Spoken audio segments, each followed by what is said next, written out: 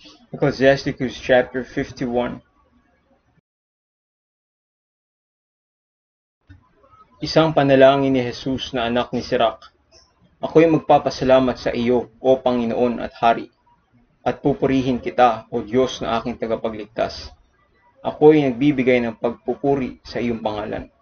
Sapagkat ikaw ang aking tagapagtanggol at katulong, at iiningatan ang aking katawan mula sa pagkawasak, at mula sa silo ng mapanirang puri na dila, at mula sa mga labi na lumilikha ng kasinungalingan, at naging aking katulong laban sa aking mga kalaban.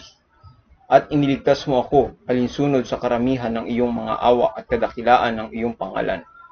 Mula sa mga ngipin nila na handang lumunin ako, at mula sa mga kamay ng mga yaong naghahangad ng aking buhay, at mula sa samot-saring mga paghihirap na nagkaroon ako. Mula sa pagsakal ng apoy sa bawat panig, at mula sa gitna ng apoy na hindi ko sinindihan, mula sa kaibuturan ng tiyan ng impyerno, mula sa maruming dila, at mula sa mga kasinungalingang salita. Sa pamamagitan ng isang paratang sa hari mula sa isang di matuwid na tila, ang aking kaluluwa ay lumapit sa kamatayan. Ang aking buhay ay malapit sa impyerno sa ibaba. Kanilang kinubkub ako sa lahat ng dako, at walang taong tumulong sa akin. Ako'y naghanap ng saklolo ng mga tao, ngunit wala. Na magkagayoy inisip ko ang iyong kagandahang loob, o Panginoon, ang iyong mga gawa noong una, kung paanong iyong iniligtas ang mga naghihintay sa iyo at iniligtas sila sa mga kamay ng mga kaaway.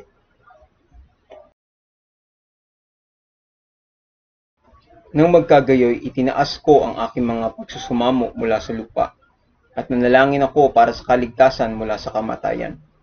Nanawagan ako sa Panginoon, ang Ama ng aking Panginoon, na hindi niya ako iiwan sa mga araw ng aking kabagabagan at sa panahon ng mga palalo ng walang tulong. Aking pupurihin ang iyong pangalan na palagi at aawit ng mga pagpuri na may pasasalamat at kaya dininig ang aking panalangin. Sapagkat iniligtas mo ako sa kapahamakan at iniligtas mo ako sa masamang panahon, kaya't ako'y magpapasalamat at magpupuri sa iyo at pupurihin ang iyong pangalan, O Panginoon. Noong ako'y bata pa o kailanman ako'y nagtungo sa ibang bansa, Ako'y nagnanais ng karunungan ng hayag sa aking panalangin. Ipinalangin ko siya sa harap ng templo at hahanapin ko siya hanggang sa wakas. Maging mula sa bulaklak hanggang sa hinog na ubas ay natuwa ang aking puso sa kanya. Ang aking paa ay lumakad sa matuwid na daan. Mula sa aking kabataan ay hinanap ko siya. Iniyuko ko ng kaunti ang aking pakinig at tinanggap ko siya at nagkamit ng maraming pagkatuto.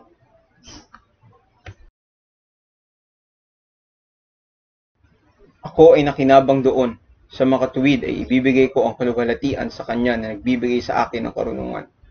Sapagkat aking binalak na sumunod sa kanya, at aking masikap na sinunod ang mabuti, kaya hindi ako madilito.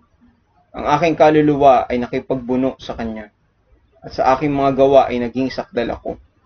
Aking iniunat ang aking mga kamay sa langit sa itaas, at tinangisan ko ang aking mga kamangmangan tungkol sa kanya Itinuon ko ang aking kaluluwa sa Kanya at nasumpungan ko siya sa kalinisan.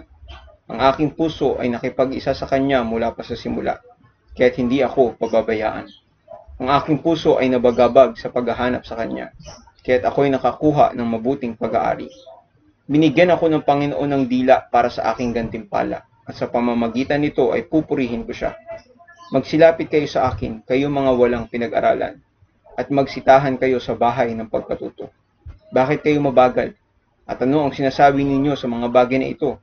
Yamang ang inyong mga kaluluwa ay lubhang nauuhaw.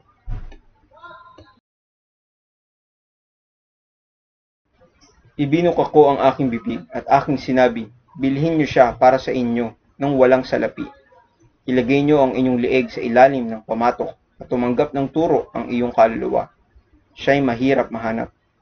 Masdan ninyo sa inyong mga mata kung gaano ako kaunting nagpagal at nagkaroon ako ng maraming kapahingahan. Kumuha ng aral kasama ng malaking halaga ng pera at kumuha ng maraming ginto sa pamamagitan niya. Magalak ang iyong kaluluwa sa kanyang awa at huwag niyong ikahiya ang kanyang papuri. Gawin niyo ang inyong gawain ng maaga at sa kanyang panahon ay bibigyan kanya ng iyong gantimpala.